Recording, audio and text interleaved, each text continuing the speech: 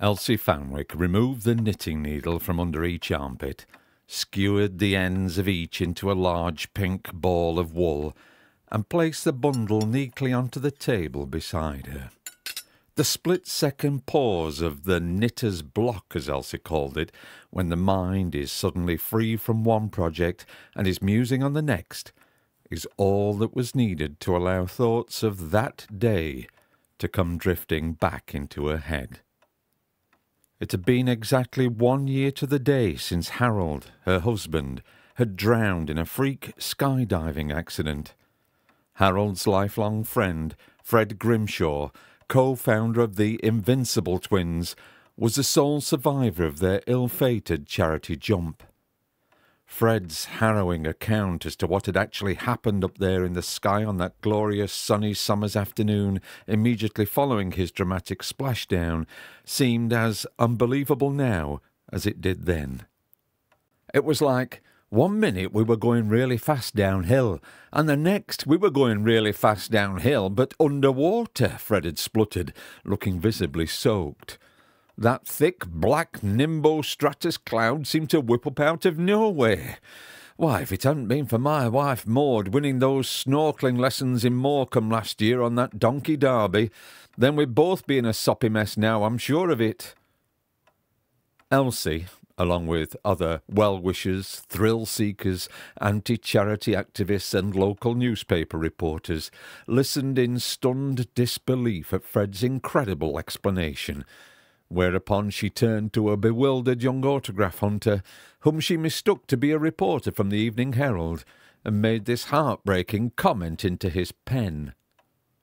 I don't believe it, she said, shaking her head in disbelief and refusing to accept that the flat, soggy shape the paramedics were rolling up in front of her like a carpet was actually Harold at all.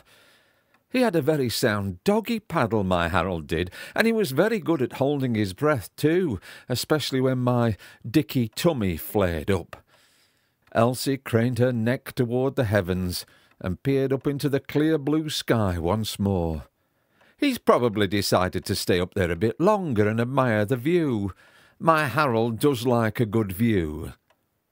But despite her hopeful optimism and dogged determination to wait for her Harold to make a belated appearance, even Elsie had to finally admit three weeks later that there wasn't a view in the world that could keep him up there any longer.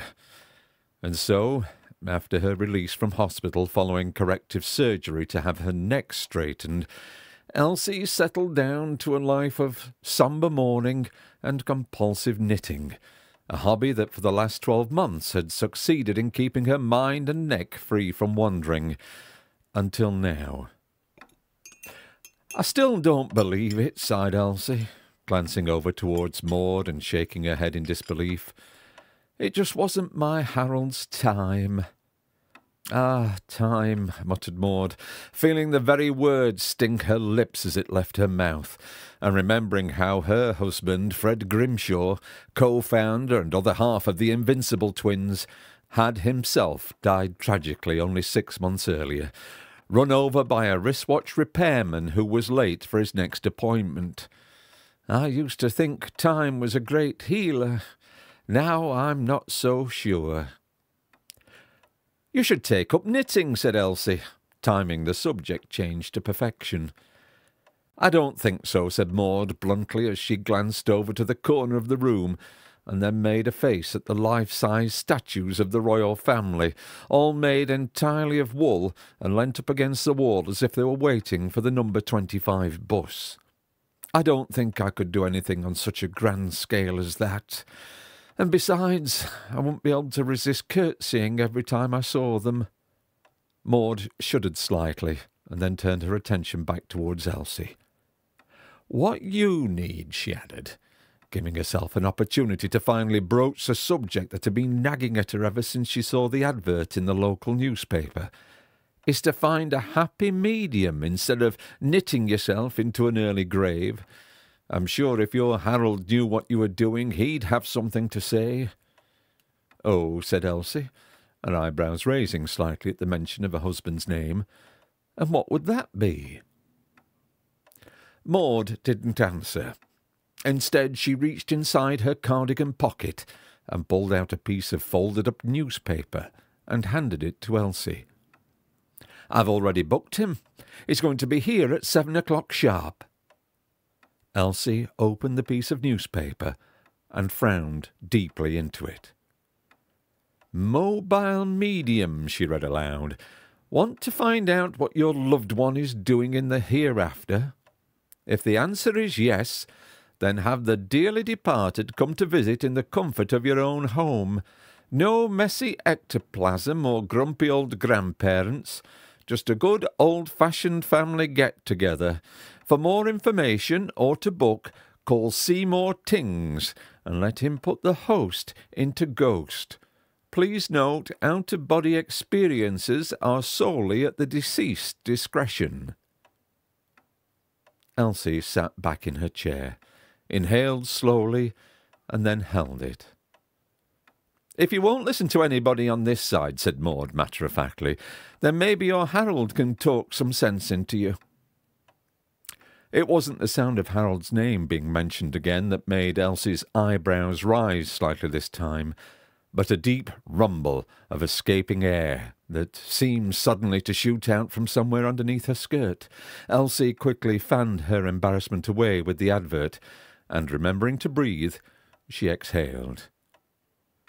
Do you think that's a good idea? But before Elsie could protest any further, the clock struck 7 p.m., and there was a knock at the door.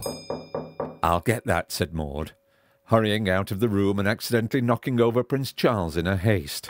A moment later she returned, and pausing at the door, she sniffed the air tentatively for any last lingering remnants of Elsie's dicky tummy. Happy that there was none, Maud entered, and, striding discreetly over a horizontal Prince Charles, she ushered in their guest. Seymour Tings was a tall, slender man of about sixty years of age.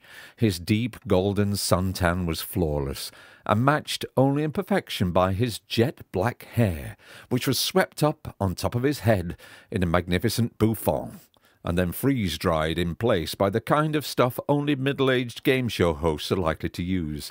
In fact, his snazzy black slacks, black polo neck jumper, and tweed jacket confirmed to Elsie that she was indeed in the presence of one of those kings of light entertainment. I'm not going to win anything, am I? asked Elsie, wincing slightly as he flashed her a brilliant whiter-than-white smile, and then sat down beside her on the settee. There's no need to be nervous, my dear, whispered Seymour, his voice soft as silk. He took her hand in his long, delicate fingers and held it reassuringly. I'm here to help. Elsie shuffled uneasily in her seat and tried hard not to hold her breath again. Are you any good? she asked, ramming her spectacles up her nose with a free hand. I have a gift, if that's what you mean, answered Seymour, looking deep and unblinking into her eyes as if he were trying to hypnotize her. I knew it, muttered Elsie to herself, half expecting a young, scantily clad blonde starlet to come traipsing in through the door at any moment, pushing a hostess trolley wrapped up in a big pink bow. Uh, excuse me, Mr. Tings, interrupted Maud, but would you like a cup of tea? Seymour moved his hypnotic gaze away from Elsie and regarded Maud with the same unblinking look. No, thank you, my dear, he said, flashing the same brilliant whiter-than-white smile. The spirits are strong tonight. I think we should get started. Oh, said Maud, feeling a rush of excitement shoot up her spine. Did you hear that, Elsie? Harold's dying to get in touch with you. Seymour held out a long, slender arm and beckoned Maud to place her hand in his. She did so automatically, and then sat down beside him on the settee. Look at that, Elsie, said Maud, peering around Seymour, who had now closed his eyes and was facing straight ahead. A rose between two thorns, eh? Elsie met her gaze and then frowned, unconvinced. All at once a quick, sharp shh shot out from between Seymour's lips, signalling the start, and then he began to rock back and forth, ever so slightly at first, but as the long, almost deafening silence drew on, Seymour's movements became more noticeable. Is there anybody there? he suddenly boomed, as his grip on the two startled women tightened. Show yourself! Speak! Elsie and Maud stared wide-eyed as Seymour's whole body then began to shake violently, as if a great electric current was being passed through it. Is that you, Elsie? said Seymour, in a voice so unmistakable that it made Elsie's tummy flare up like it had never flared up before. Harold, blurted Elsie, hardly daring to believe that it was actually her Harold's voice she'd just heard come out of Seymour's mouth. Is that you, Harold? Elsie, there's something I have to say. The sense of urgency in his words made Elsie gasp and clutch at her throat fearfully. Are you all right there, Harold? Is anything the matter? Seymour's whole body was shaking so violently now that the settee which they were all sat upon actually began to move across the room with the sheer force of it. Of course he's all right, cried Maud, clenching her false teeth together to stop them from shooting out onto her lap. Any minute now he's going to tell you to stop doing things to excess and enjoy the time you have left. What happened next can only be described as breathtaking. Seymour, who was still shaking violently, opened his mouth and took a massive gulp of air into his lungs, causing his chest to expand so much that it actually popped the button on his tweed jacket, sending the button flying across the room to hit the life-size dummy of Camilla, Duchess of Cornwall, squarely between the eyebrows. The speed and accuracy of the shot was enough to knock the woolen royal off balance and send her tumbling to the floor, landing face down into the lap of the already prone Prince Charles. Elsie, came the sudden, unmistakable voice of Harold again. Are you there, Elsie? I'm here, Harold, cried Elsie as she watched Seymour's chest deflate with every word spoken. Elsie, don't worry about me. I'm okay, and the view up here's lovely. It's Fred I need to talk to you about. Fred, cried both women at once, their mouths suddenly gaping in surprised unison. The guy in charge up here is getting a bit impatient. Fred should have been here six months ago, and nobody's seen hide nor hair of him. If you hear from him, Elsie, tell him he's late. Then, just as suddenly as it had started, the violent shaking stopped, and it was all over. Seymour gave one last inaudible grunt, and then collapsed back into the settee exhausted. Elsie, her mouth still gaping, and with a dislodged set of dentures balancing precariously on her bottom lip, turned and faced Seymour, who, only a few seconds earlier, had been jumping around like a possessed tumble dryer, but sat quite motionless now. The flawless tan had drained clean away from his face, leaving a pale, blotchy complexion, and his deep blue hypnotic eyes were glazed over red and had a faraway look about them. In fact, all that remained of the old Seymour was his brilliant whiter-than-white teeth that still shone out through a fixed, almost surreal smile. Maud, who had fared little better, picked her own set of false teeth up from out her lap, and then shook them dry. Well, at least we managed to find you a happy medium, Elsie, she gummed sarcastically, before popping the set back into her mouth and reaching for a pair of knitting needles.